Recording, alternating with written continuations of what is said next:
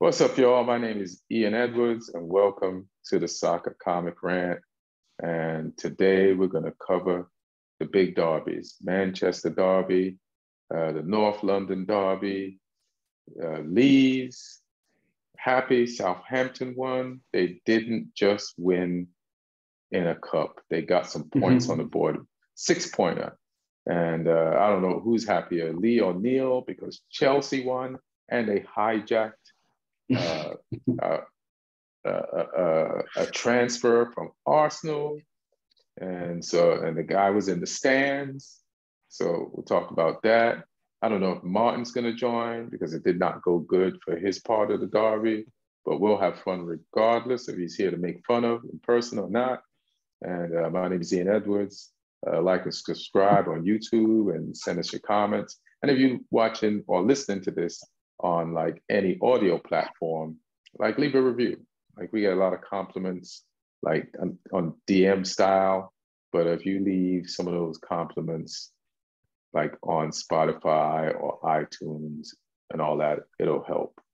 And uh, if you want to get, you know, at me on uh, Ian Edwards Comic on Instagram or on Twitter. And I just want to introduce the usual suspects. We got Neil Chelsea Chakravarty, stand-up comic, Chelsea fan, and uh, a little bit happier based on how his team did this weekend. What's up, man? How you feeling? I want to speak for you. You might still be unhappy. No, I'm feeling good actually. I mean, I was not that down even after the last game because I thought mm-hmm. performance-wise we were good, but no, this is a, it's a good win. What makes you happier, the hijack transfer or the win? Oh, the win definitely because the hijack transfer was just you know it's good for. I mean, I hadn't heard of the player a lot before, so you know this is a lot of it is um, unknown territory. So I don't really know what to expect. It's it's always fun to hijack, especially yeah. when it's from um, a London rival. I haven't heard of the player either, but if yeah. Arsenal was going to pay 70 mil for him, and yeah. Arsenal's track track record of like recruits lately mm-hmm. have been so on point, like Chelsea might not even know anything about him. They just know that Arsenal wanted him. It's like, let's get that guy. Fuck that. So that's all you need. Yeah. And then we got Lee Hudson, stand-up comic, Southampton fan, Southampton's back on track. Nathan Jones is taking wins and shoving it and mushing it in rude ass Southampton fans' faces and go, take that. You know, saying, I know what I'm doing in this league. How you feeling? Always had faith in him. Always had faith in him.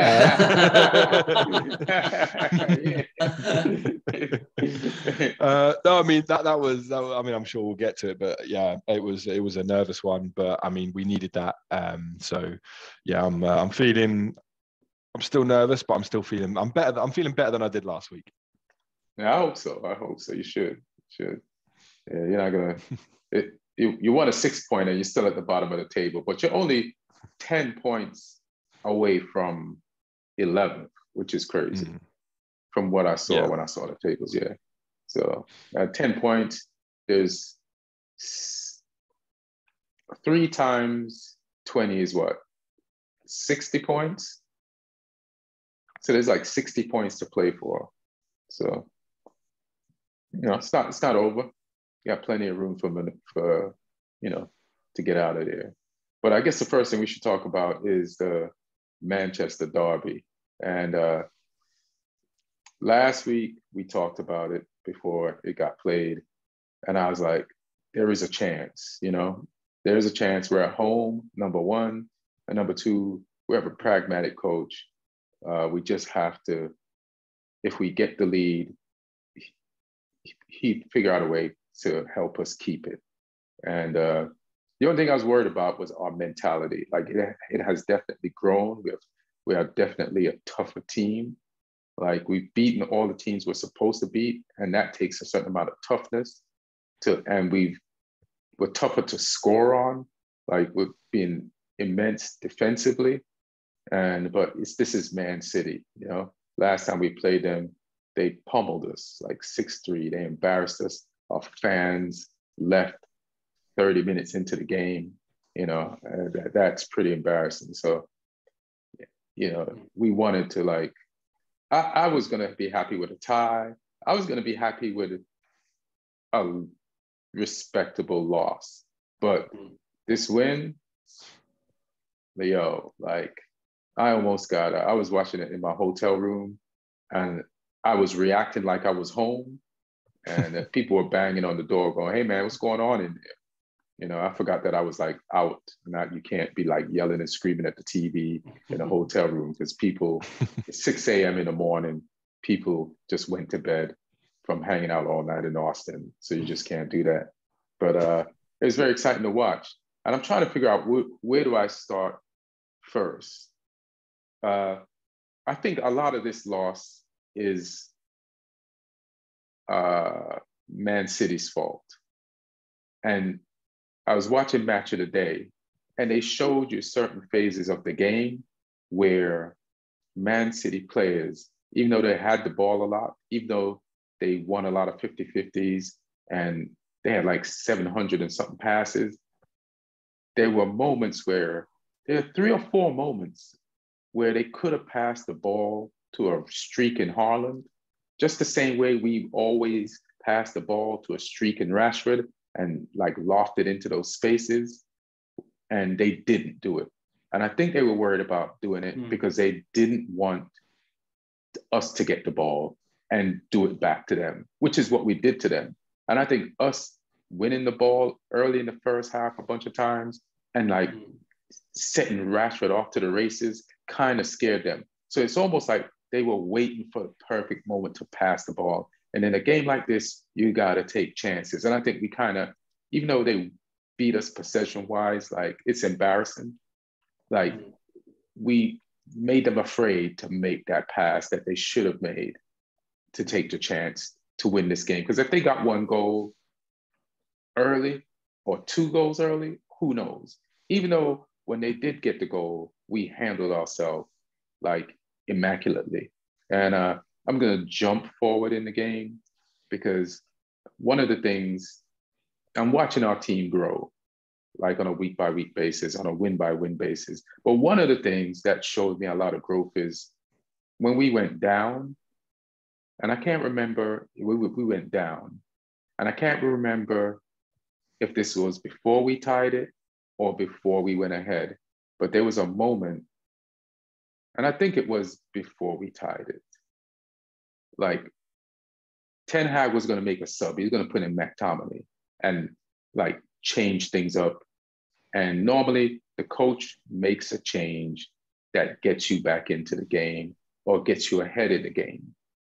But we scored before that, meaning the players on the pitch did the changes and what was necessary to do without him, which shows how much this team has grown and how much mm-hmm. like what he has told them before the game or the game plan has stuck in their head and how much they remember and how willing and how deep they're willing to dig to like it's normally Ten Hag would make the sub and then the sub will do something and the team will win the game and then Ten Hag gets all the credit. But this team proactively like got that lead back without him, or it was for the tying goal. I can't remember which one.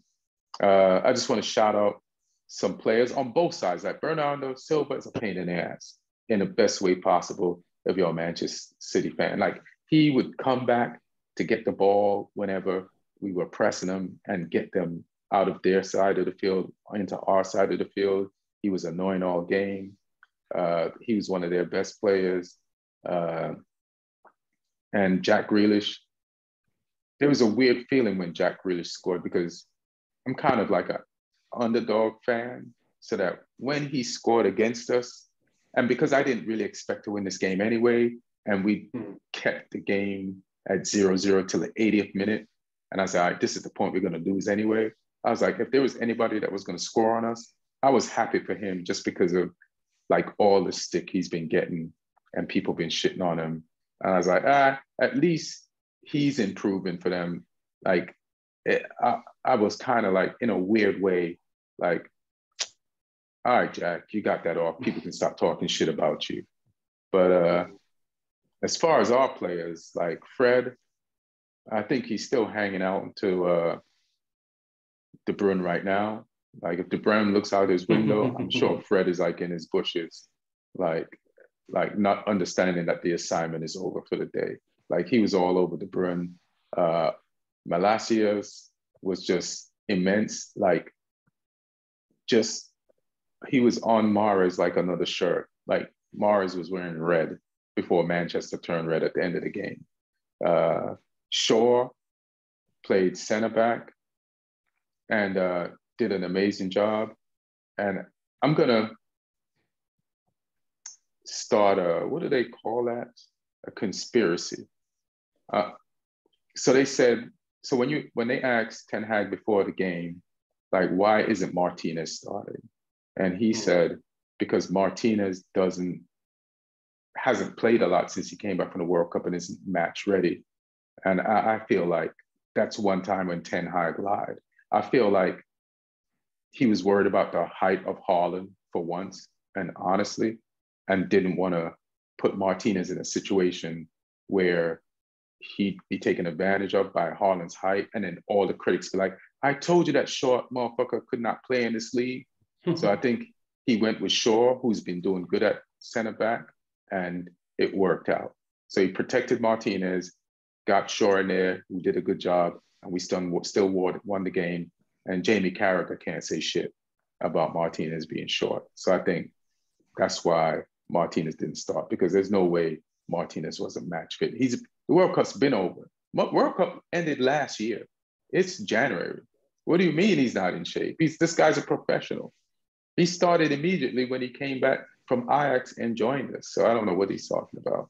Uh, shout out to Rashford just for staying sharp and on point and hungry uh, and just getting us through this and getting us the goal that we needed and just fighting through an injury and just just being reflex ready for those passes all game. Bruno Fernandes, uh, just starting on the right wing, which is not his favorite position, but doing doing the best that he could with it, and then later on getting shifted to the 10 position and doing his thing there, scoring the goal. Uh, Martial, I was disappointed in him, but I hear he was injured, and so he's just playing injured for us. So fine. Uh, trying to go to the Eriksen did his thing in the first half, but got a card and was taken out. And Garnacho, it's just, man, like that's a big game. I understand you're coming in for the Fulham game and winning it in the last minute, but in a Manchester derby, to just treat them like they're Fulham and just come out there against all those names are the hugest names in Premier League football. These guys have won titles and just go at them like he's playing for playing against like a Manchester United youth game and twisting Aki like that and making that putting that cross in for Rashford, like immense. And then uh covered Casemiro, just steady Eddie, baby. Let's get let's get some more steady Eddies like that on this team. You know, Graeme Souness, because if that's what you call a steady Eddie, like that dude was balling. Like even the shot that Haaland was going to take, and he put his foot in front of the shot, and Haaland kicked him in the box. At the end, just be always being where you need to be, like a magician, just knowing how to show up, where to show up, like a mind reader, like just all the experience just shows up. And uh, Ten Hag for just coaching a good game, like they could not get the ball to Haaland. Like stopping Haaland from like being effective, it's not easy. It, we, it, we made their weapon their destruction because they couldn't get the ball to him. So then they kept on recycling the ball and going back and around and wasting time because they couldn't do what they want to do. And they didn't choose another alternative. Even the goal that Jack Grealish scored, that cross was for Haaland, you know? So uh, I guess you guys can bring up anything you want to bring up about that game and then just continue to interject rudely and shit. Um, I mean, firstly, you're welcome for us uh, softening them up uh, during the week for you. um, but no, I mean it's crazy. Like it's, I think it's almost unheard of for City that you know against us during the week they had zero shots on target. I know they had their big guns on the bench for half the game, but and in this mm. game they had one shot on target, and that was the goal, and that was it. So yeah, that's that's crazy for City over two games to only have one shot on target, um, and to lose just to, just for City to lose two games in a row is unheard of as well, really. Um, so yeah, I mean, it, they they it's crazy that they've got. Apparently, apparently, it's the first time that's happened in a while, and it happened right after Pep hugged uh, Graham Potter there we go. Right. It's it's contagious. um, but I mean, it's it's it's crazy though. I think with City that you've they've got a striker who is breaking goal scoring records. He's scoring more goals already than a mm. player normally scores in a whole season, and yet the team is so wildly inconsistent. Um, like this season, I mean, you, you, think they've been destroying certain teams, but then there's other games where they're just they're not at it. I mean, I'm just trying to look at the um, I'm just trying to look at the table here because how many games have they lost this season? Uh, three, three games. Three losses, three only, So only they've three. only won like two thirds of their games. Yeah, which yeah, I mean that's that's crazy for for a Man City team to to be like that. I mean, Man United have played level games and they're only one point behind, which I'm sure if you offered United fans that at the start of the season, they would have been overjoyed. Um, to yeah, we've won more City. games this season than we've won all last season, the complete season. Mm. Yeah, it's, it's it's it's nuts, and I think like the point you made was good about City just sort of almost overplaying and not looking for for releasing Haaland and things like that, and it that almost suggests like they are in their own heads a little bit as yeah. well. The way they're the way they're sort of just almost like the players don't want to take responsibility. They want to just I'll I'll give the ball back to you. It's your decision, kind of thing. And uh, you know that's that's not what Pep's football is about. It's about they want to circulate the ball, they want to keep the ball, but then it's you need to then find the moments to cut through the opposition with those passes that break lines or balls into the into the forward because you know Pep isn't a stranger to having this big forward. He did it at Bayern with Lewandowski. Lewandowski mm-hmm. was his big forward there. Um, he would sometimes play direct into him there. Like he would get Neuer to just hit him. Um, and you know, they've got a goalkeeper who can do that with distribution as well. With Ederson, he can put the ball exactly on someone's head if he needs to, um, or into space. And so, yeah, yeah, it's, it's it's it's it's weird why they wouldn't do that, especially like you say, even though Shaw's been great at centre back, he's not a centre back. Um, right. So test test him, put Haaland on him, and and throw some balls up there and see what happens. Because you know, sure, I think he's he's big for a left back. He's six foot tall, but he's not big for a centre back. He's average. He's sort of average height right. for a centre back. Um, and Malacia's not a big, so get Haaland over on that side and start putting some balls up there and causing some problems. But yeah, City were just a little bit too predictable, and I think Ten Hag knew that, and he was set up for that. Like I think he was prepared for them to have the ball, um, mm. and knew that. And I think I think he he prepped the players well for that as well because although City had seventy one percent possession or whatever it was, United looked calm the whole time. Like they didn't look like they were panicking because they didn't have the ball. They just stayed disciplined.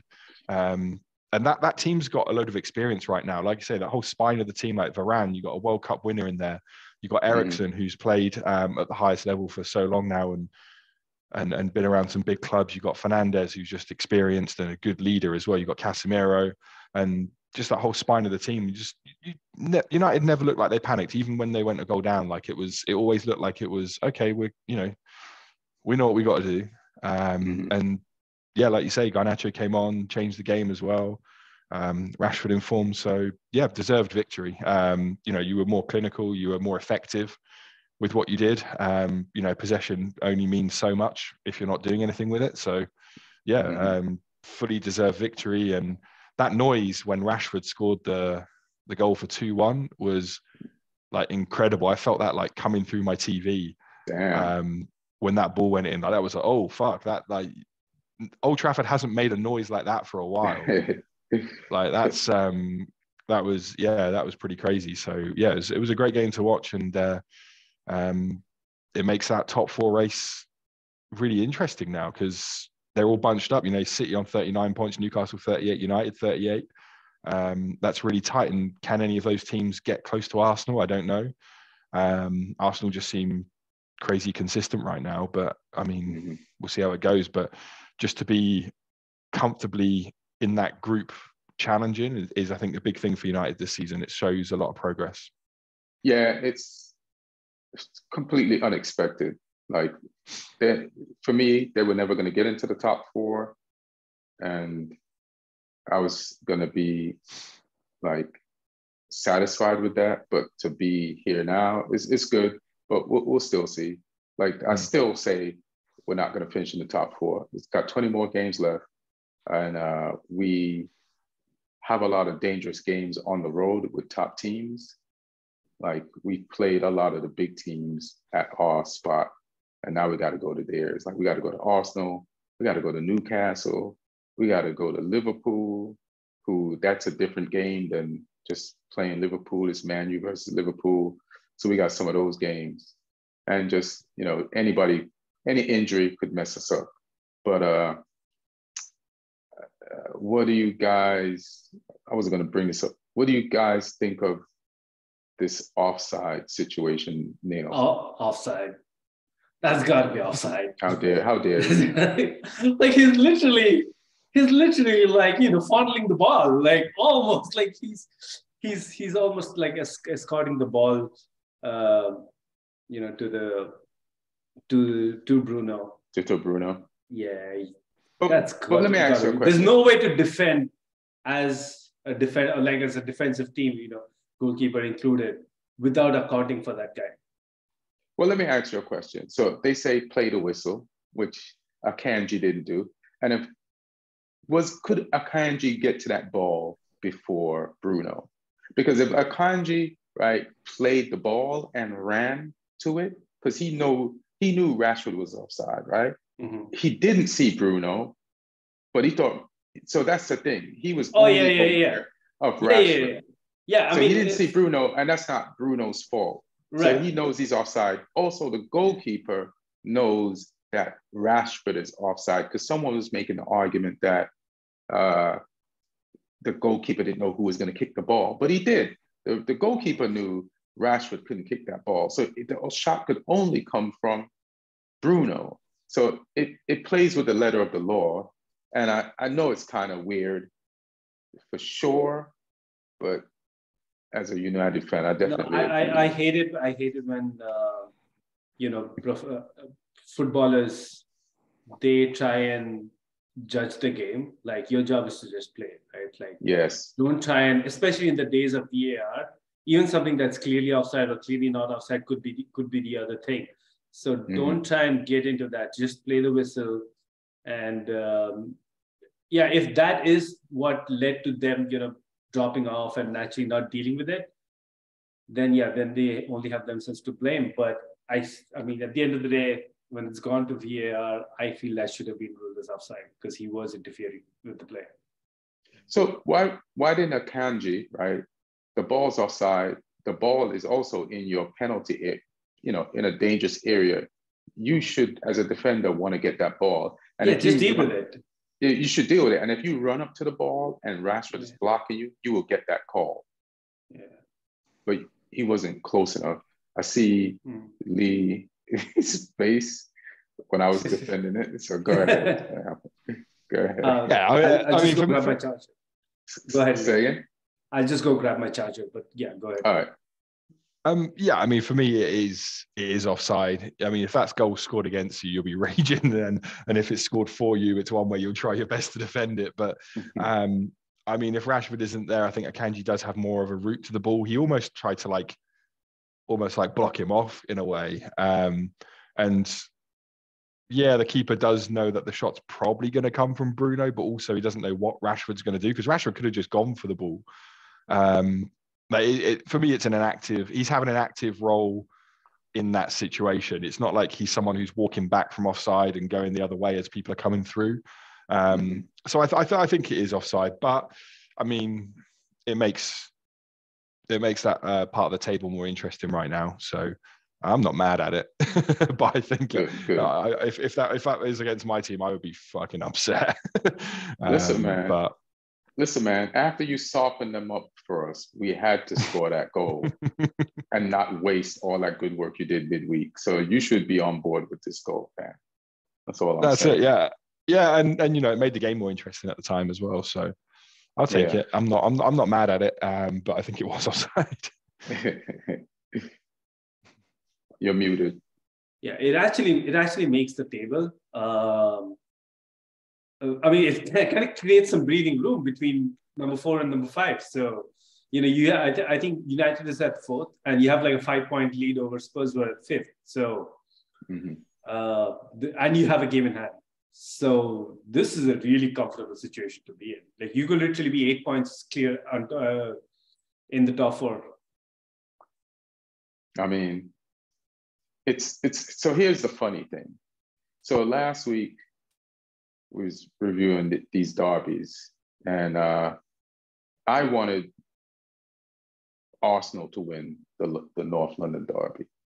The reason why I wanted Arsenal to win the North London derby is because I didn't think we could beat Man City, and so my main concern was anybody that could catch us from behind, which was Spurs, right? Mhm. So then last week, I figured, I figured Arsenal would beat Spurs, and I wanted Arsenal to beat Spurs.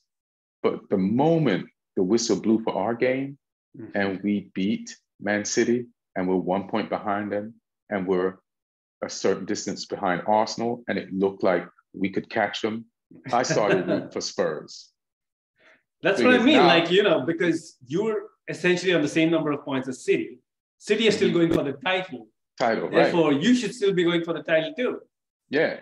So, Yeah. So on that strength, it was like if City can catch him, maybe we could get lucky and catch him. So now I'm a Spurs fan, you know, for mm-hmm. that day. So let's talk about that derby. Who wants to go first as far as the North London derby? Martin's team, again, just laying out in the sun for the first half of an important football match, getting tanned, and then waking up and realizing, oh shit, we're down two nothing. Let's do something about it. And we're at home. Who wants to go first? it was it was Groundhog Day, wasn't it? In terms of Spurs in a big game, I think I, I can't remember who they Or classified as. Yeah, I mean, I can't remember who they classified them as the big teams as, but they said Spurs have played like seven like top teams this season uh, between like the Premier League and Europe, and they've lost all of them um, Mhm. because that's like I, you know, they say the definition of madness is doing the same thing over and over and expecting different results. Like it's, I don't understand what this is. Like that first half, like Arsenal just dominate. That must, that's embarrassing to have your rivals come to your stadium where, like we were discussing on the podcast um, during the week, that Tottenham traditionally are normally better. This was Arsenal's first win at Spurs since like 2013 14 14. season Yeah, yeah. um, in the league, and yeah, to, to to have your your rivals come to you and just and just dominate you like to that extent was crazy. That first half could have been four or five nil to Arsenal. Um, there was a couple of Spurs players that were lucky they were getting away with the amount of fouls they were giving away. Um, it was just incredible, and yeah, they were lucky they were still in. They, they were lucky they still had a game to play for in that second half because Arsenal should have been out of sight. Um, it was just poor, and like I said, it's the same old story. Just Conte just setting up a team to let the opposition have the ball. And we've said before, you can't do that against Arsenal. Like they've got players like Odegaard will pick you off, Saka will pick you off. Like they've got these technicians in their team who can break down those low blocks. Um, you know, Partey will, will pick you off, Martinelli will pick you off. It's it's it's it's a crazy one. Um, I, I wish that Partey shot had gone in, the one that hit the post, because that was a rock. That was a rocket. Jeez. Um, I mean, yeah, and Best goal in Premier League history if that goes in. Yeah, it would have been. It would have burst the net. It was. It was a great hit, and uh, you know, second half Spurs they put some effort in. They tried. Um, all the saves because you know I think Ramsdale was busy that second half, but all the saves were kind of comfortable for him. They weren't like world class saves. They were sort of in and around him. He could make those saves. Um, Mhm. You know, he still had to make them, and he did. He did his job. Um, but you know, and then obviously the behaviour. You know, I mean, fuck Richarlison. That guy's a piece of shit. Yes. I, Um, I, I don't like it, man. Fuck even on the touchline when did you see, have you seen the clip from the touchline when he was still on the bench and Nah, he was did he do? about he, he he was trying to go and interfere with an Arsenal player who was taking a throw in and Tommy Tomiyasu was stood in front of him, and Tommy Tomiyasu just put an arm across him to say like, no mm. man, just like come on, you don't interfere, you're a sub, and like Richarlison like threw his arm out the way and was just being a, a, a dickhead, and then at the end of the game, like Ramsdale been getting abuse from the Spurs fans all game. Uh, and all he did was like a little fist pump and a kiss of the badge. Like that's that's minor shit. Right. Um, and then for Richarlison to run in and push him in the face and and do all of that stuff, it's like, dude, like you, you've just got like, why didn't you show this much fight in the game? Like, if you care that much, play better. Um, it's like, bro, you've been manager. a Spurs player one week. Calm down. Stop acting like you're from the academy. Like, like, yeah. like nobody. We know you were just at Everton. and then the behaviour of those Spurs fans as well to Ramsdale, especially the one that like tried to get at him as well. Um, was that a kid? Just, like it looked like a kid because he was. He you could was actually young. see him running back. He was youngish, but I mean, you know, Spurs fans they're either stunted physically or stunted emotionally. So it might just be a, it might be an adult, it might be a child. Who knows? Um, um, but you know, that guy should be. We're sure Martin's back in LA, um, right? um, but you know that guy clearly did too much cocaine in the in the toilets at half time. So um, whatever you need to do to get through a Spurs game, I guess. Um, damn. But to get through know, Spurs first half yeah, but just embarrassing from Spurs on and off the pitch today. Um, and you know, we we were saying during the week in the podcast that you know this was going to be the test for Arsenal, their mentality test, because they've never yes. um, in the last few years come and got a result here. Um, but you know, I think it was partly the fact that this is a stronger, more resilient Arsenal that we saw, but also partly that they're playing the most unambitious Spurs team mm-hmm. in many years. Like you know, Pochettino wouldn't have gone out and done that against Arsenal. He would have, he would, he would have had a go in this game. And Conte, I just can't understand why he does this over and over again in these games and thinks that something's going to be different because I don't know what it is about him, but I mean, he's clearly just proven to be a bad fit for Tottenham. I'm not even sure he wants to be there as well. His contract's up. He's not really seeing enthusiastically like he wants to extend that stay. He's always moaning about the resources and stuff. It's like, did you like just Google Daniel Levy before you take that job? Like, ask someone, ask someone a question. Uh, like, what's Dan Levy like? He's not going to give you any money. Um, so, and I mean, you know, he has had some funds to spend, but I mean, it just all seems like a bad fit there. It's ugly football. It's losing games. Um, it's losing every big game they play, and they've just got you know, I mean, it's only 2 0, but they've been pumped today in a North London derby at home and then just embarrassed themselves off the pitch as well. So, yeah, Spurs, what a day. It's, uh... the score could have been Nketiah 4, Spurs 0. Like if Nketiah yeah. had put away at least four of those five chances, it could have that could have been the score. What what do you have to say, uh, Neil, about this one? Did you check it out? Yeah, Arsenal's actually playing really well.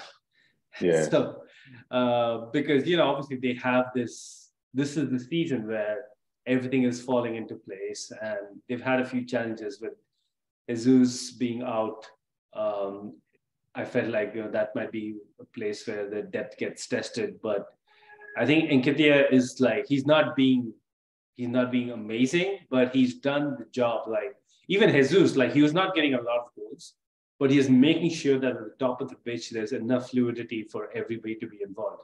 I think uh, Nketiah is kind of like he's providing a similar um, uh, a similar effort up there, and uh, yeah, like I look at somebody like Partey at Arsenal, uh, Casemiro at United. I mean, having a player there, you know, that kind of a destroyer is just so important. That physical presence in the middle of the pitch. Um, yeah, you can't really do much in the Premier League if you don't have somebody like that. So uh, and you would you would know you would know because that's those yeah. are the play, those are the two players that Chelsea is missing. Yeah, and, we've, and that's why they, missing, and that's like, why they went and bought a winger. yeah, we've been missing that for a while, but you know, just to stick to Arsenal, I think you remember how like when Liverpool got uh, Van Dijk and Alisson in back-to-back windows, and that was kind of like the turning point.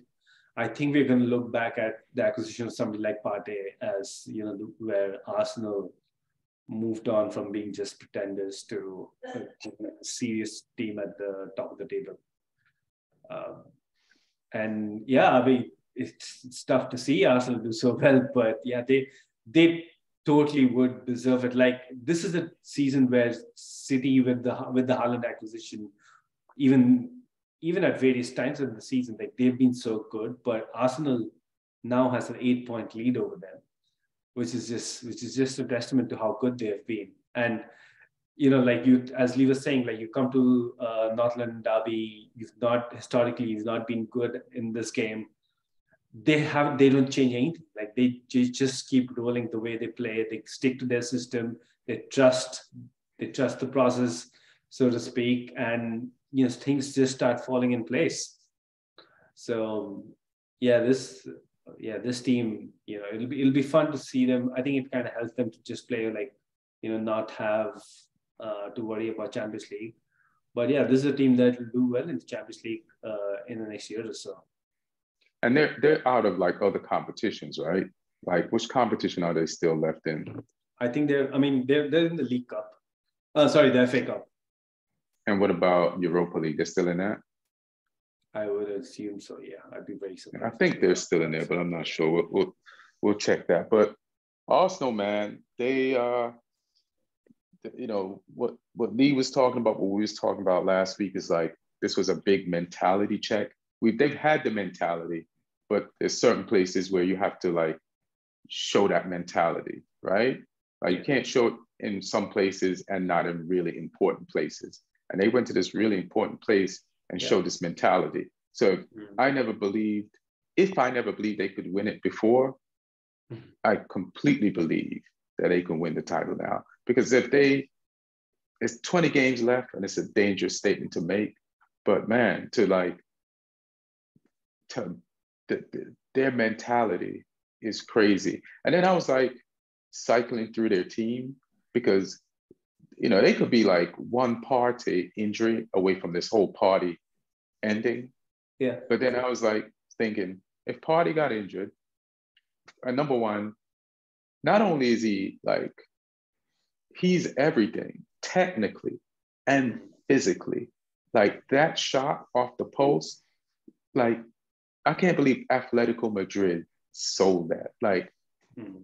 like how do you sell something like that? And he was good at Atletico Madrid, but this is something else. But I think Arteta is raising the level. He's one of those coaches that raises people's levels. Like he's on some Klopp shit right now like with these players. Like their, their levels are definitely raising. But that that that shot against the post told me everything that I didn't know about Partey. Like he is better than I thought. And I didn't think he was bad in the first place. And Xhaka, just the whole crew, and Odegaard again, like proving that Real Madrid made a mistake in selling him, even though they got some money for him and they got some other midfield. They could have used them in the Classical today. Like he, he would have definitely showed Gavi and Pedri, who's like the new young kid in town, the way he played today. And uh, it's just, it's just the most impressive thing about Arsenal is their mentality. Because it doesn't matter how much skill you got, which they do have a lot of skill. If you don't have the mentality, that skill is of no use to you. But because they have the right mentality, they are displaying all their skill. And that's what makes them dangerous. And so I just don't see their mentality slipping for, for the rest of the season. So it's a long journey. I know they have some injuries, and I was going to talk about the injuries, but if they if Odegaard gets injured, they have Smith Rowe, who is a monster who hasn't been playing. And they have that other guy, the thin man I forgot his name, but it's a midfielder that they got. And also, if Partey got injured, they could slide Zinchenko in there because he has, uh, mm. and then and they still have two left backs. Yeah, in the Tomiyasu and Zinchenko, Tierney. Tierney. And, yeah, yeah, and, and they can. Mm. So Zinchenko could play midfield. So the only if if Nketiah got injured, he was the backup to Gabriel. No, they're gonna get somebody. They're gonna get somebody in this window. Right? right. They have but they, they need to get somebody. Could, yeah, they, they mm-hmm. have the money that's just lying there now, so they're gonna get yeah, somebody. We, yeah, they got. And also, like, mil. Martinelli can play as a centre forward, and they can play Vieira. Um, out wide. Okay. Um, the or, or, they can, or, the- or, the- or they can play Smith Rowe out wide. Um, they've even got Marquinhos as well, um, the Brazilian winger who's a backup. So Mhm. yeah, Martinelli can slide in as a centre forward if they need. But I mean, I don't think there's any. I don't know how far Jesus is now as well. He can't be that far. Maybe a month or so.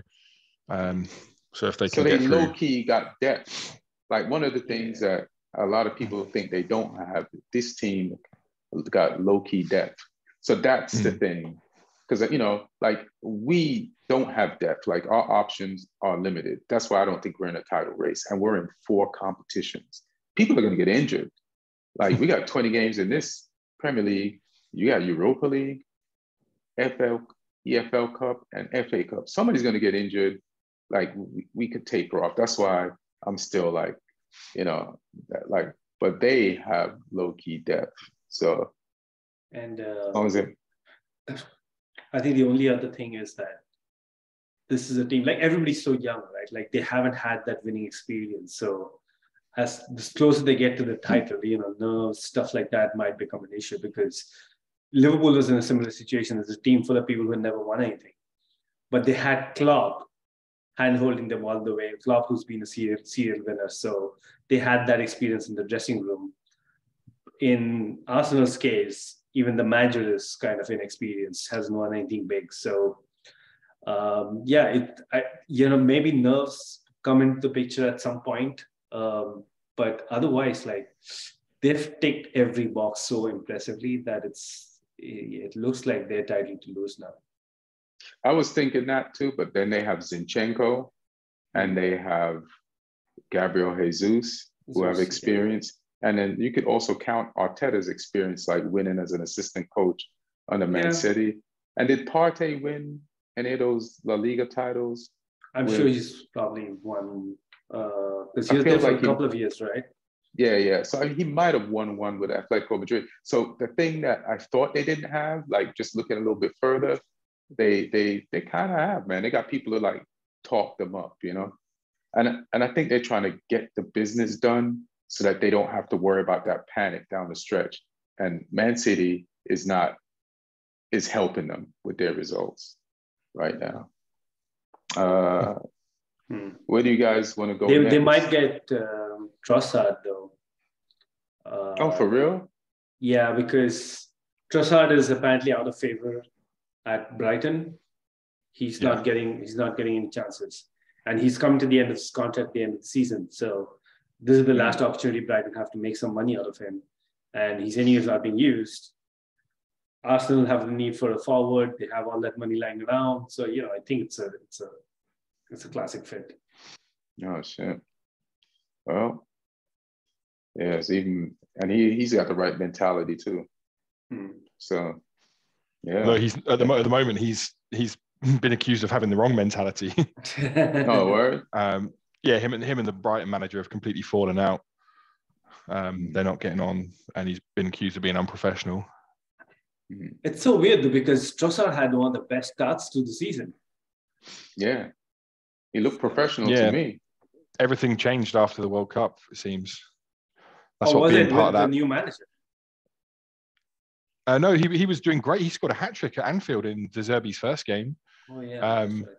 Um, back before the World Cup. But after since he come back from the World Cup, he he hasn't. I don't think he scored a goal from since he came back from the World He's- Cup. He played some games, and then, you know, when Brighton went and smashed Everton um, at Goodison, uh, he didn't even come off the bench in that game. And He- they're playing. Um, there's this kid at Brighton now, Ferguson, Evan Ferguson, um, who's getting those minutes instead, and Mitoma's stepped up, so they're not even needing him right now.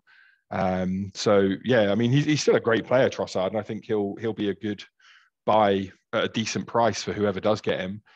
Um, but yeah, right now he's he's he's completely out of favour at Brighton, and they're not He's missing him. Belgian, right? Yeah. I think when you go to, to the World Cup and hang out with Hazard, it might cause adverse effects. Just that whole Belgian squad seems toxic. To be fair, Yeah, like they yeah. they were a shit show. So yeah, I don't think that was a good. Yeah. Uh, so you guys want to talk about Southampton or Chelsea win in a minute? yeah. That's how- we we can go Chelsea. What's up, Neil? It was a good game. It was, uh, you know, hard fought three points right till the end. It seemed like because it was just a narrow lead. Right? It was just a one nil lead, and uh, yeah, even though we didn't concede a whole lot of chances, they were like they they were they're popping these shots. I think somebody just that was probably their analysis pre-game, like just take a shot at Kepa. And but but Kepa came strong today. You know, he he got a hand to two of those shots, which you know easily could have been goals. They're going, uh, they're going in. And um, other than that, I think going forward it was again back to back two good performances um, from a creative point of view because I've been so disappointed with how bad our creativity has been all season. But both last game and this game, we created a whole lot of chances, quality chances, not just you know somebody taking a shot from somewhere. Uh, of course, finishing continues to be an issue today. Hall again, he missed a great chance. Havertz missed two chances. Um, Aubameyang missed a great chance. Uh, Havertz finally, I, yeah, he he scored probably the most difficult of the chances. He missed two absolute sitters, and then he, you know, he scores. That's probably one part of his game that has been good ever throughout his Chelsea career. His uh, heading ability. Uh-huh. Uh, you know, he uses his frame really well. He somehow gets onto these looping headers. So, yeah, that was a great goal. Uh, I'm still not convinced of him as a centre forward because I just feel like I've seen him at centre forward for two years now. Mm-hmm. And it's just like no aspect of what you would expect a striker to do has he improved on. So, yeah yeah, I, he's still a good player. You know, I still not try and like get rid of him or anything, but I just feel like that striker role. I, I sometimes feel bad for him. Like he's, I don't think he's meant to be that. Uh, just make him a ten. Yeah, ten like or like a second striker or even like an attacking eight. I think you, you know, you do well in some of those roles, but uh, yeah, he just he just seems a little lost when he's playing as a, as a striker. But you know, he got the winner today. Can't really complain after that. Um, come to the rest of the team, Thiago Silva had another great game. Like that guy, I don't know how he's still doing it at this age, but he's he's still just he's. It's just insane that when we got him, he was 36 years old, and he's on his on his way to having three world class seasons, having joined Chelsea at the age of 36. Damn. Um, uh, Benoit Badiashile, I'm probably getting his last name wrong. Benoit, he uh, he debuted as centre back. Koulibaly got a break, and he was great today. Um, tall guy. Uh, you know, we've been having a lot of issues with uh, aerial threats, but you know, he was heading out everything uh, in his sights. So that was great too. Uh, Where's he from? He's from Monaco. And you just bought him in this transfer. You just bought him in this transfer window. Yeah, I I don't think the plan was to use him a lot right away, but you know, with Fofana being gone and Koulibaly not having the best of seasons, I think it makes sense to use somebody like him, um, you know, whenever we can. And he's got a great debut. Um, later on the game, uh, Chalobah was really good at right back, even though, you know, he's he's he's he's got a sort of a centre back playing right back, right? So he's not going to have the threat of somebody like Reece James, but he stuck to his man. Zaha was uh, was there quite a fair bit, so you know he did a good job. Lewis Hall on the other side, he's becoming one of my favorite players to watch, except that he can't finish. Like I think every game now he's had a couple of probably the best chance of the game, and he's missed every single one of them. Uh, so hopefully he works on that and uh, and he. You learns. could combine him with Marcos Alonso.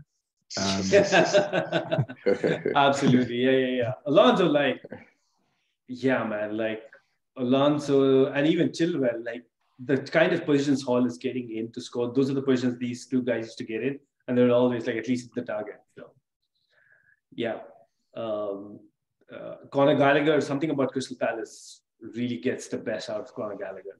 Like he's he's not been having a good time in this period. Mm-hmm. But then again, I find it difficult to judge players because like the entire team is doing badly, right? Like so can't really pinpoint players. But today Gallagher is really good.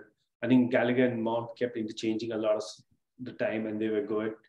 Um, lost the ball a lot, but when he was actually, you know, he had a little bit of space, he was creating the kind of passes that Ziyech is otherwise known for. Um, but yeah, uh, good game, good vibe. Uh, with um, you know, there's a lovely tribute to Gianluca Vialli at the beginning of the of the game. It's great touch to see all the you know mm. the ex Chelsea players who played with him the lineup. The, the video was great, and uh, you know Gallagher mentioned after the game that you know he he kind of like brought a tear to his eyes. So I think that was a good touch, and you could see like the crowd. I think the crowd feels a little bit of responsibility to what's happening with this team. Like they're like putting in a little bit of an extra effort to get this young team across the line. Um, so yeah, um, Mudryk came up with the Ukrainian flag in the middle of the you know at halftime.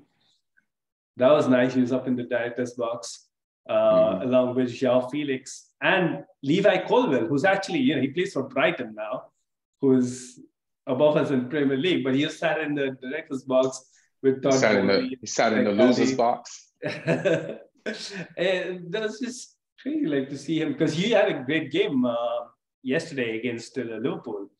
Played some great passes. Mm, yeah, and uh, he, he was up there today, and um, oh, and the best thing of the day happened that so the game finishes 1 0. Everybody's in a good mood. A couple of Chelsea fans on Twitter start this Twitter spaces um, mm-hmm. conversation. And just a whole lot of people talking, you know, just normal Chelsea fans. Mm-hmm. And guess who pops in there? Todd Boehly. Oh, shit. He's is in there. And people are like, is this like, you know, one of those where you like just change the name and get get the blue tick? But no, it was actually Todd Boehly's account. And he was in there for a while. Like he was in there for almost like a two, two and a half hours. Let me see if he shows up in a Twitter space after they lose. or shows up after they win. That's not. he, you he shows like, up after a win and after he steals a transfer, and then I think he wants to know. Like he wants to. I think oh, what these guys saying. Are they praising me? Who they won next? So people like it. Literally turned out to be a. Uh, Christmas wish list kind of thing. Like when people realized who's on the space, like people mm-hmm. start getting, Todd, if you're listening, we need a midfielder, we need a Reece James backup. Mm-hmm. All right, like Mudryk is all well and good, but we need we need a DM. Mm-hmm. People start talking about Enzo Fernandez, Mr. Boehly, just pay, just pay. I mean, you paid 70 mil for somebody you don't really need, right? Or do you need this guy? So why didn't you just pay? If he can score a whole lot of goals, we need this guy because we haven't had a lot of goals from our forwards this mm. this season. So yeah, that's a big if. But you got Joe Joao Felix. It's a, it's like yeah, yeah. You got Joao Felix for a few months. yeah. yeah, yeah. But we have you know. Coming in next season. And that's already uh, a done deal. But I, I think the bigger thing why we couldn't be paying out that much for Enzo Fernandez. Apparently, that's a release clause. Mm-hmm. So you have to put the entire amount, like the 120 million they're talking about, on the books right away, and that I could cause it. problems. With, no, but that could cause problems with FFP. The thing with um, transfer like Mudryk is it's 70 million plus 30 million in audio add-ons euros. Mm-hmm. But that's over. A, that's why giving out these huge, long ass contracts, like eight and a half years. So you can divide that money over the period of the eight and a half years. So oh, okay. it's it's more of an yeah, accounting bought, magic. You bought you you bought him on finance. yeah, yeah, yeah, yeah. It's, you finance long lease, yeah. yeah. Uh, that's that's how most most transfers are done these days as well. Yeah. Um, it's very rare that a team will pay the whole fee up front in a lump sum, like you say, unless it's a release fee, in which case it has to be. Yeah, yeah, yeah.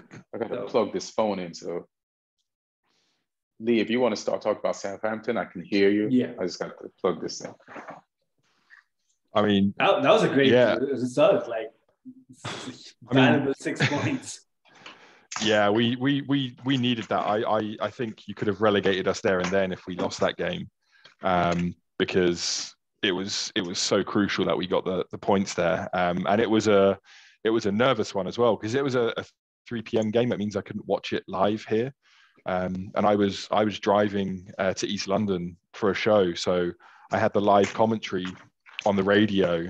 And I don't know what it is about radio commentary, but it makes me even more anxious than if I can see the game. um, like it was, it was, it was tense as well. Because um, I listened, I listened on the radio at home for like the first um, sort of half an hour of the game, and then I had to jump in the car um, to head across London. And uh, yeah, just listening to that second half on the radio was yeah, it was it was tense, and I mean, it's great that we went one 0 down and showed some balls to come back and scored immediately after half time.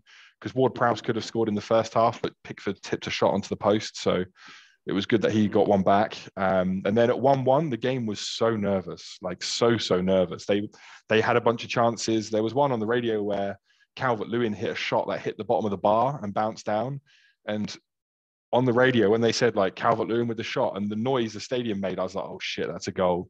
And then they were like, no, it's off the bar. I was like, oh god.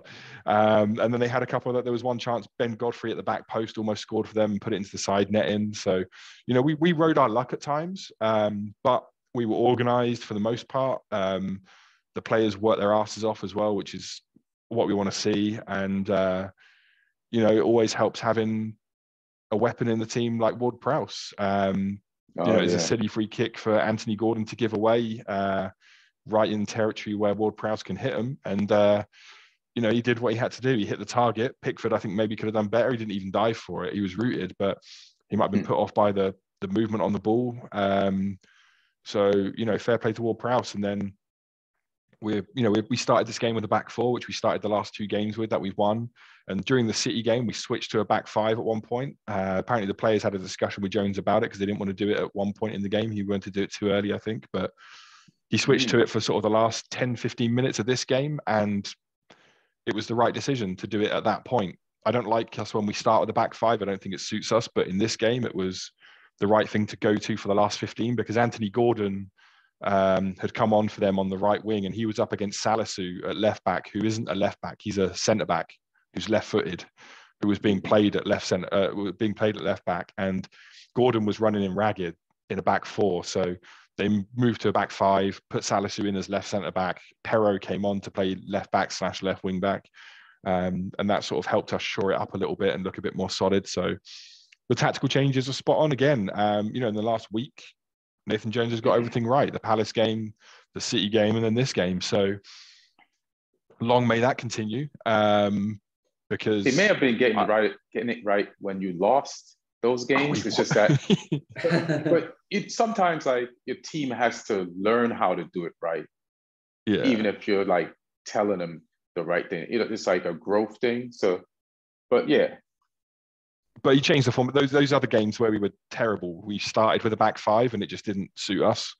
Right. Um, whereas these last three games we've gone to a back four. So it might mean that he's taken some some either some advice on or listen to the players because I think the players have openly said they prefer a back four as well. So, um, you know, whatever it is, it's working, and you know he's learning on the job and growing because it's not a level that he's used to. But like I say, he he's learning, and if that keeps on moving in that direction, then I'm happy. Um, you know, I think the criticism he got was warranted though because the Forest game, I still you know say it was one of the worst games I've ever seen. Like in terms of mm-hmm. no organization, no fight, no direction, nothing.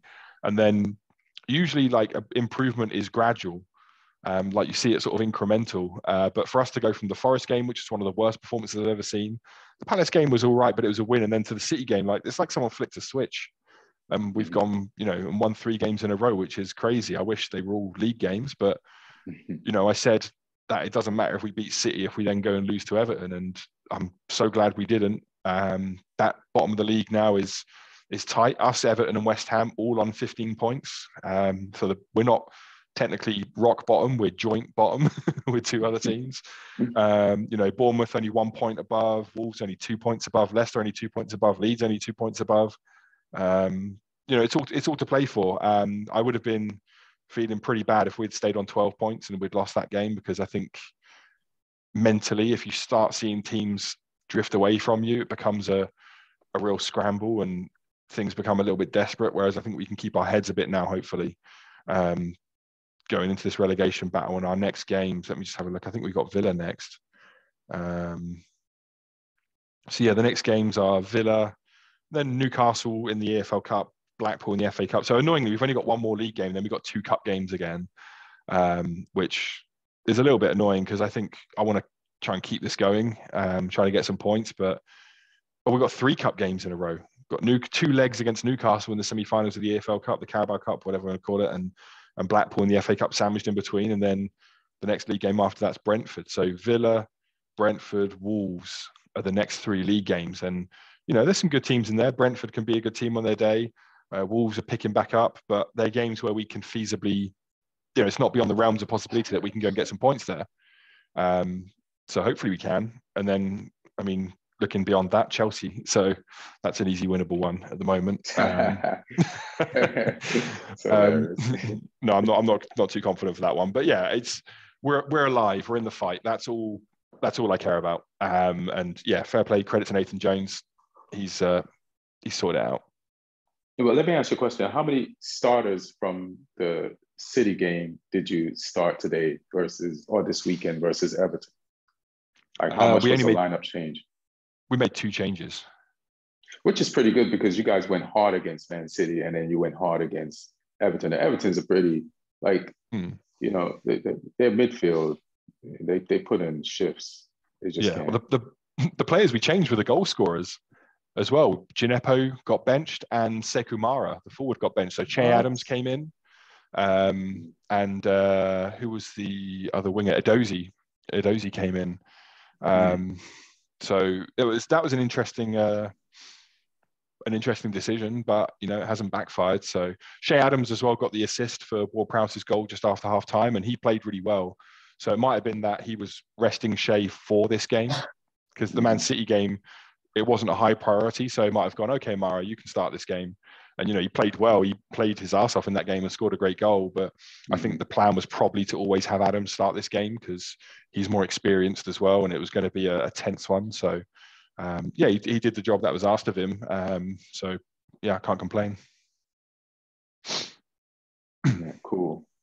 Trying to think of like the other games this weekend. It was like like Liverpool, Newcastle, Fulham. I wanted uh, bring. Oh yeah, you watched it. Right. Yeah, go ahead. Say that again. Mitrovic scored. So Fulham got a penalty. and Mitrovic oh, yeah. scored, but he somehow managed to. I think they should have just given him the goal for being able to pull that off. He kicked the ball with both his feet. Right. And it was one of the best penalties you'll see. Like the yeah. shot itself, it was it was bang. Like the goalkeeper had no chance. But obviously, because he used both feet, um, just the slightest touch on the other feet, you know, it was ruled out. But, yeah, I saw the the highlight of that, and because I was like, how did? Because I knew that Fulham lost, so mm-hmm. to see him score a penalty, I'm like, what?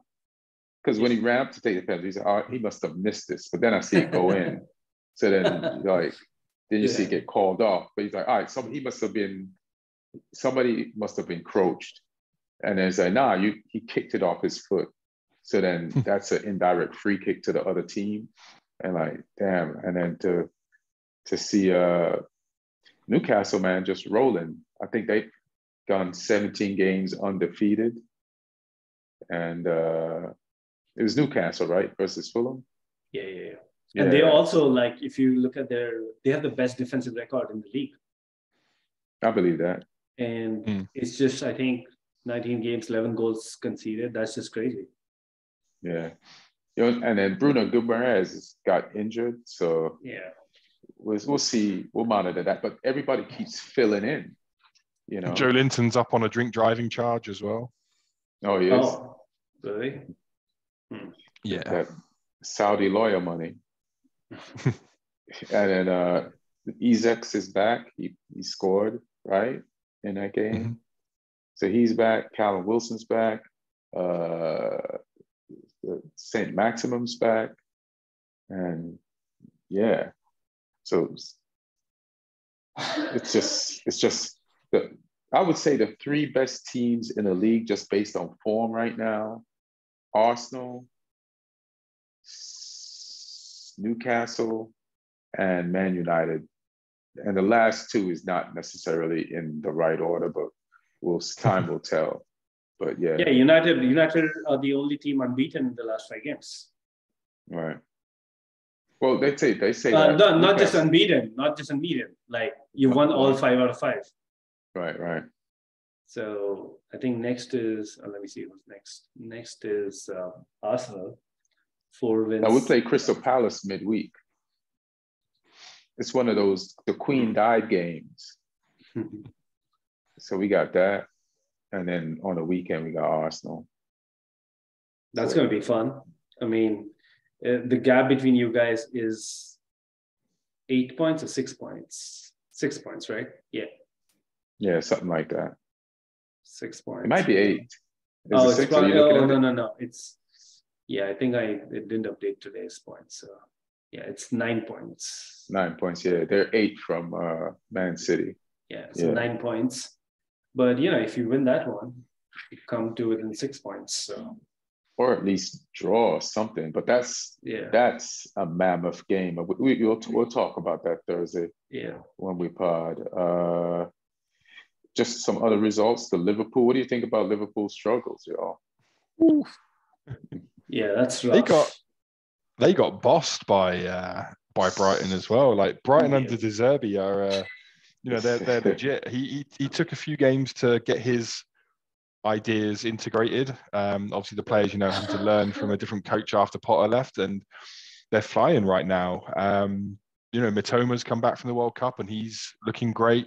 Uh, Solly March, I mean, that guy's going to be getting an England call up surely Um because he's playing just immense at the moment. Um, Danny Welbeck's goal as well.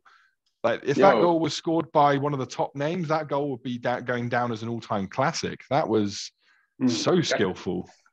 That Yeah, was that was like a shades Bergkamp. of Pele in Yeah. against Sweden when he was like 17 years old in the World Cup final. Yeah, just flicks it over the head and then the the calm finish as well. Wow, like that was a hell of a goal. And he's been Um, trying to score all season, missed easier ones, and then does that one. I'm sorry, Neil, I cut you off. Uh, no, it reminded me of like the the Bergkamp, Ber, you know, the famous Bergkamp goal, where you know he turns around. Obviously, there's not turnaround, but like you know, just the skill of the first touch combined with the volley. mm. It remind me a bit of. Did you ever see Paul Gascoigne against Scotland in Euro '96 for England, Oh yeah, yeah. where he, he flicked it over a head and then volleyed it in? It was almost a little bit like that as well. So Hmm. um, yeah, I mean these are all great names that we're uh, comparing him to. So yeah, people need. To, I mean, Rashford, oh, Rashford, uh, Welbeck's a weird one. Like he, he doesn't score for ages, but then occasionally he'll just pull a goal, a crazy goal out. yeah, Um, and that, yeah, that one, hell of a goal, hell of a goal. I think that's the problem with his career. Because of goals like that, they thought he was a forward. But he should really just be a box to box midfielder. And he would have had like a great career because he has all the energy. He's always running. And yeah, he could break up play and tackle. Like Yeah. do the shit he's doing up front, do it in the midfield. And he'd be a Mhm. starter somewhere on a on a legit team. But some of those Yeah. goals he scored, people say he's a forward. He's like, nah, he can't do that consistently. yeah. Uh, what else happened this weekend that was like significant, like as far as teams are concerned? Like Leeds lost, right? Didn't they? Yeah. Sort of lose. And uh, they're still like a few points above the relegation zone. West Ham lost, Wolves, Unai Emery is like willing Wolves forward. They got a goal. Like low scoring. You mean? Lopetegui, yeah, Lopetegui, Yeah. yeah. Unai for Aston Villa. Yeah, I was just gonna mention him too. Unai, they got the win Mm. too.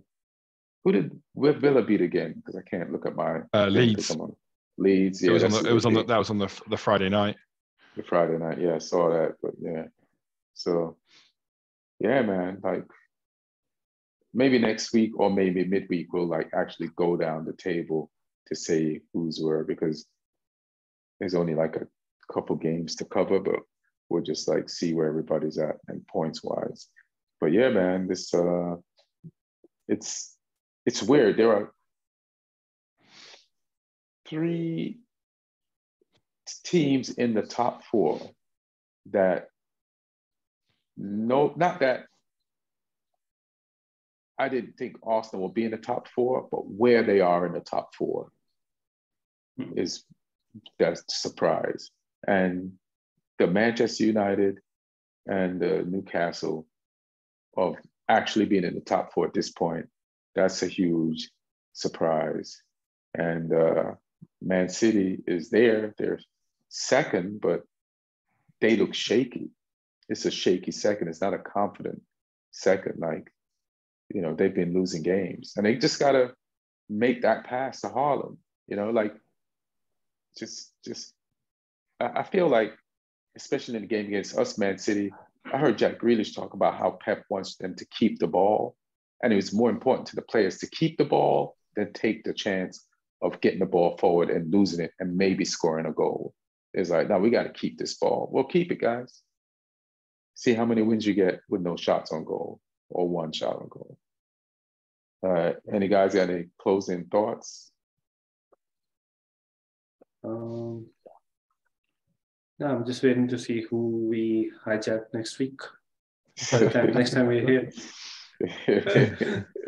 you never know. Like anything can happen. Yeah. Can you I afford mean... to hijack anybody else?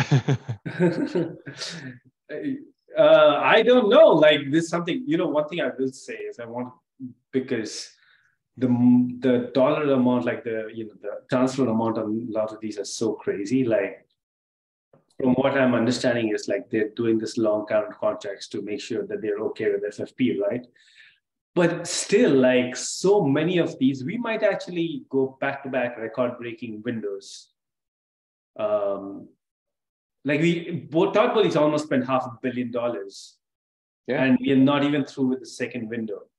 And only one of them is a summer window. So yeah, I am actually concerned that we are going to be slapped with a huge ass FFP punishment somewhere in the future, somewhere around the corner, because some of this seems too good to be true.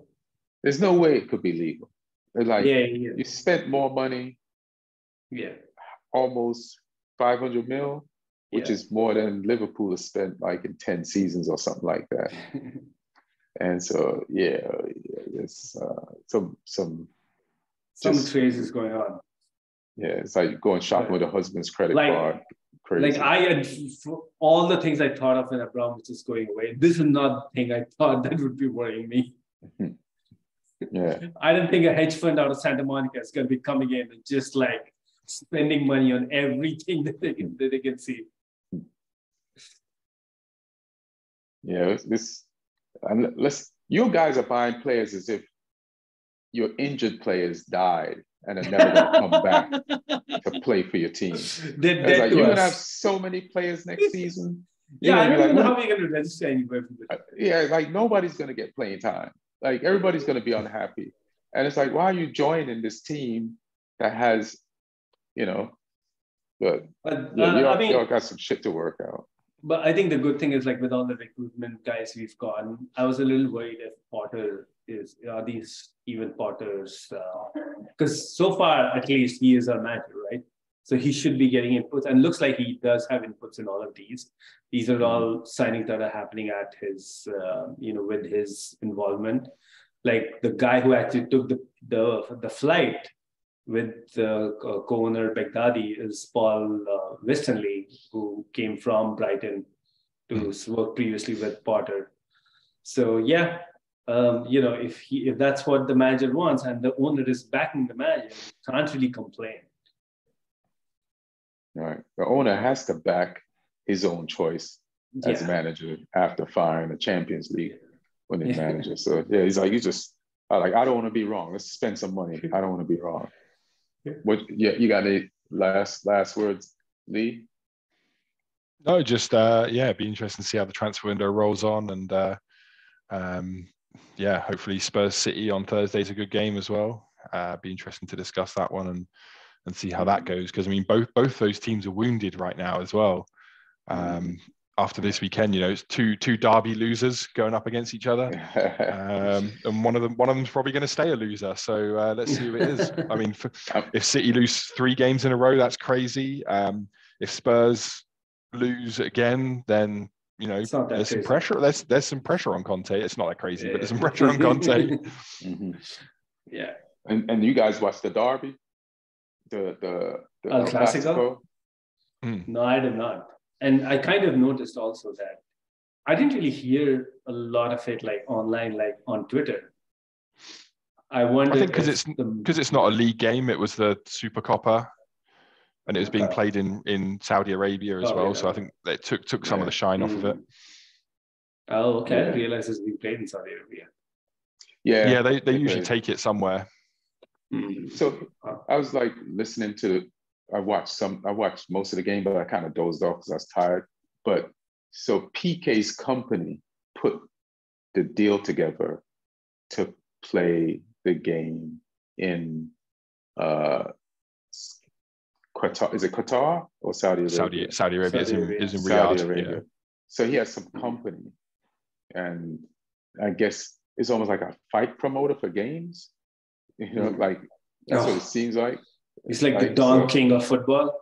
The Don King of football. so it's like like he can like put packages like this together in yeah. those type of places so people can see teams they normally wouldn't see.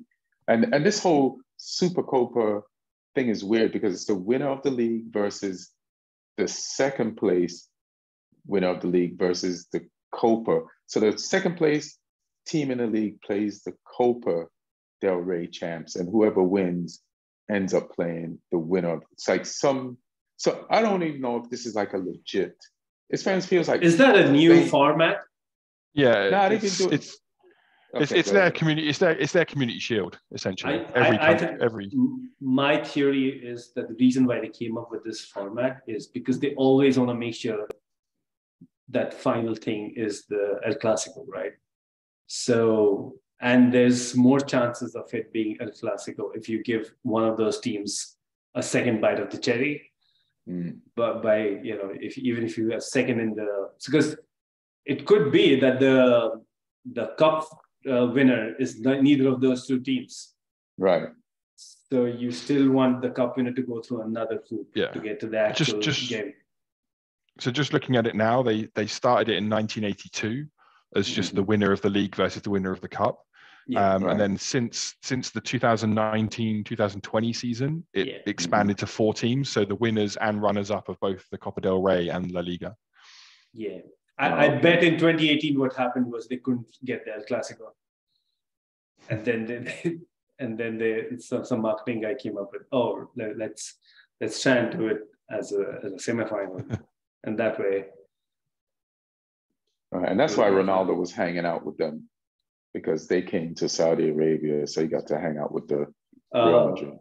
Yeah, and so, and then just one thing, so Ronaldo could end up playing for Newcastle. You guys heard this? Is that this season or next season? Well, if they qualify for Champions League, probably next season because the mm. same the same group owns yeah. yeah. Newcastle. So then they could loan him to Newcastle and then he could end up in the Champions League. So that's pretty crazy. Yeah, that's fine. I don't some... think that bothers anybody, but you know, yeah. Um, sure. But it just shows how calculated he is. Like I wasn't even yeah, thinking. Yeah. Um, you think Ronaldo? You got rid of Ronaldo Europe? No. back. back. Like he he plotted his way the long way back. Mm. Like, all right, I'll leave. You don't want me? Mm-hmm. I'll be back.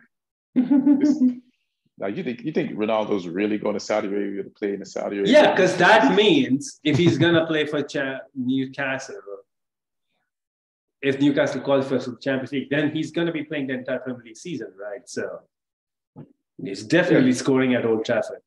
Yeah, he's he's rooting for Newcastle. He wears a Newcastle shirt under his Saudi Arabia shirt. like his kids it's probably, probably one of those old Juventus kids. Yeah, it's hilarious. it's funny. well, guys, thanks for joining uh, this week. I'm glad we all won. Uh, Martin came over and watched the game, and he's, he knew what happened in the first half. So, even, so we still watched the first half because we I had to start the game after it had started, just because oh. of when I got back. But Yeah. Did he leave via a window afterwards? he went out the door, but he was he was in his seat like this in the, in the second half, like like he. he I, I'd love to hear what his uh, thoughts on Conte right now. yeah, he- it's it's he's not praising. It's not good. He's not praising. That's a clue. Yeah, he's not praising him. He's smart enough to not praise him. So yeah. All right. Well, well, thank you all for watching. Thank you all for listening. Hope you all enjoy. Uh, leave comments and we'll get back to them. We'll respond to them. Hope y'all teams are doing good. Uh, yeah, man, it's uh, all to play for for some people. All right, one. All right. Let's do this. Hold on, let me stop the. Let me stop the tape. How do you stop it, boy?